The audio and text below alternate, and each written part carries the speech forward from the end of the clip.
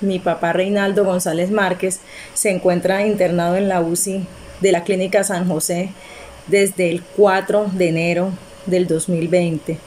En el día de ayer nos llega la notificación de la doctora que está con él y nos dice que mi papá se encuentra en un estado bastante delicado, bastante crítico y es importante, necesario una remisión a una clínica de tercer nivel donde le puedan realizar la hemodiálisis. Pedimos la ayuda de todas las personas, de quien pueda ayudarnos a, gestionar, a conseguir esa, esa UCI para mi papá.